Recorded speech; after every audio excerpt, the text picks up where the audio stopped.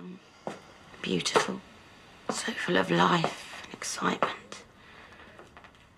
You know, she's got a boyfriend. Has she? Hmm. He's a nice enough lad. Well, you remember what it's like, all that excitement. Yeah.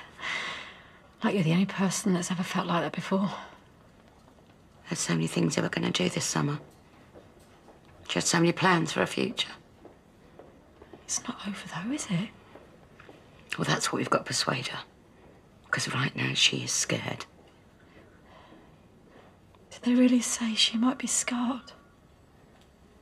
I'll skin graft tomorrow, but I don't think there's a might be about it. But her face looks okay. Small mercy. Her chest's got third degree burns. But we are going to help her through this. All of us.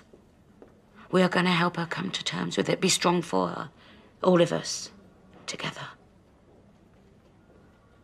If you sign up for this, I will call Phil. And I'll try to persuade him. You won't want me anywhere near her. She don't even want me herself. She's going to need every bit of help she can get. Phil'll see that. But if you can't step up and be there, then you walk. And you keep on walking. No more messing that girl about. You're going to go. Then go.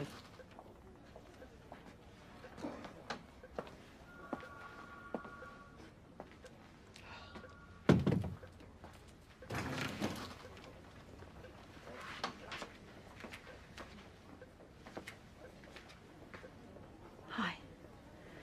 How you feeling? Can I get you anything? Like you care. I'm your mum. Of course I care. But Louise, darling, I just want my dad. you're a new sweetheart.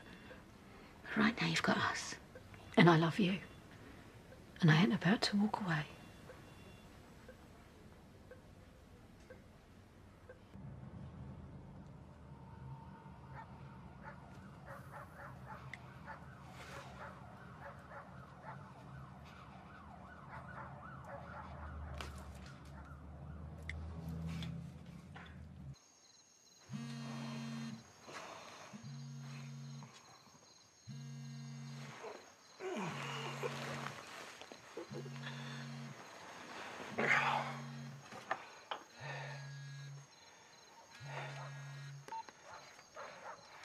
Ben?